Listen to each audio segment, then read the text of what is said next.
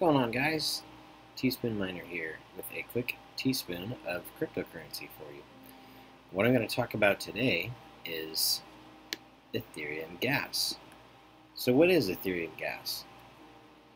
Um, when you want to transact on the Ethereum blockchain, when you send a transaction, the fee when you go to create the transaction to build it to say I want to send this amount of Ethereum, here's my source address, here's my to address, etc. When you go to build the transaction, the fee for the transaction to actually happen when you're creating the transaction in your wallet, the fee is displayed typically in either terms of ETH or in your native currency uh, whether that's USD or whatever, it will tell you how much that transaction will be, uh, how much it's going to cost to send that transaction and actually have it go through.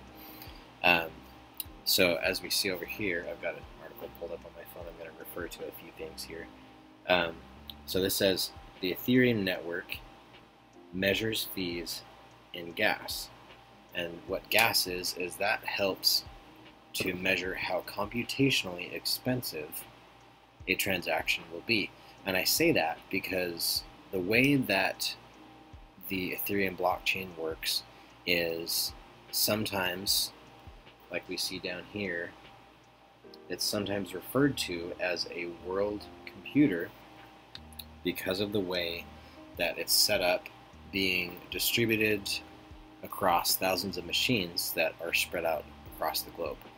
And so obviously to perform work, across that world computer, if you will.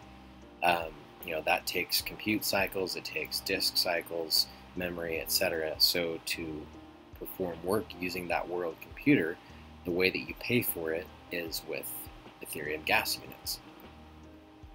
How do you interpret gas prices? So, for example, we see here in the background, um, you know, you, there's different gas trackers. Um, you know, you've got the Ethereum gas tracker with Etherscan. Uh, we've got ethgasstation.info. Uh, this one was shown to me just the other day. This is a really good one as well. Gasnow.org. Um, it's very real time. It refreshes every like five or six seconds or something like that, which is pretty cool to see fairly up to the almost up to the second um, approximate gas prices for transacting Ethereum. Um, so, for example, if we were to take um, an amount, and they all interpret it differently. You know, there's low, average, high. There's you know standard, fast, and trader.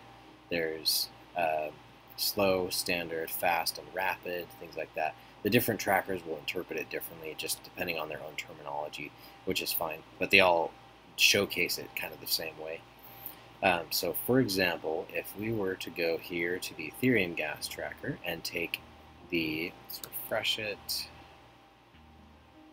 and then take the average gas price, oh, it actually dropped. That's cool. Um, so if we took this average gas price of 58 Gwei, um, and let me back up one second. So what is Gwei? What is a Gwei? So with Bitcoin, you, we all know that the smallest increment of Bitcoin is a Satoshi. And what that is, is that's 0.000000001 Bitcoin. And just like that, Ethereum has its own smallest increment of Ethereum, and that's referred to as Gwei. And what the value of Gwei is, is it is 0.000000001, so there's an extra zero in there, uh, Ethereum. So what we can do to calculate an approximate average speed transaction fee to send an amount of Ethereum on the blockchain is we're going to go over here to our calculator and we'll do 0.000000001 that's one Gwei. So if it's 58 Gwei, we're going to go back, back, and then do 5, 8 times. And the quantity of gas units that is typical for an average speed transaction is 21,000 gas units. So if we take this 58 Gwei, we're going to multiply that by 21,000 gas units. So here we go. So 0.001218 Ethereum is our base transaction fee at the average speed. So then what we can do to calculate the approximate cost in USD or our native currency is go over here to Coin360, refresh it to get the updated price. Give this a second to load. Taking its sweet time. There we go. So 2824, say. So we'll multiply this by 2824. $3.43 approximately in USD to send a particular amount of Ethereum at the average speed, which currently, yeah, there you go, $3.44, $3.45. So you can see that that adds up. So pretty cool. Um, for me, just honestly, just the last couple of weeks, I really um, you know, I've been dealing with crypto, working with uh, crypto kind of in the crypto space for the last several years.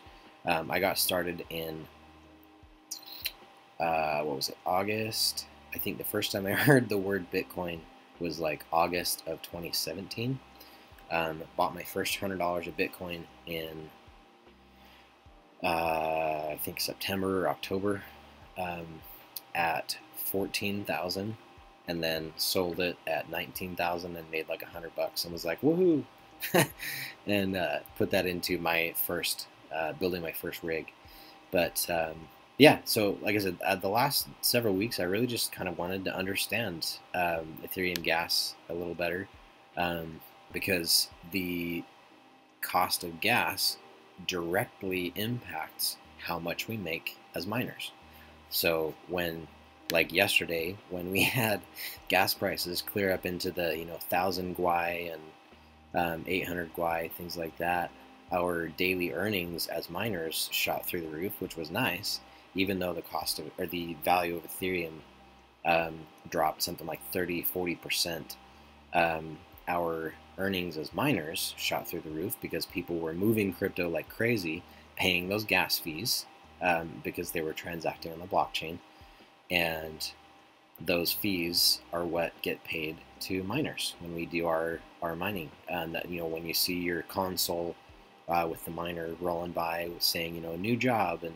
you're doing your nonces and things like that, all that um, is verifying transactions on the blockchain, which is pretty cool stuff. So, anyway, well, this has been another teaspoon of cryptocurrency. Uh, if you found it useful, I'd appreciate it if you could give the video a thumbs up, share it with your friends. If you want to see more videos like this, be sure to subscribe and hit that notification bell so that you get notified when we release new videos. This has been another teaspoon of cryptocurrency. Stay safe and mine on.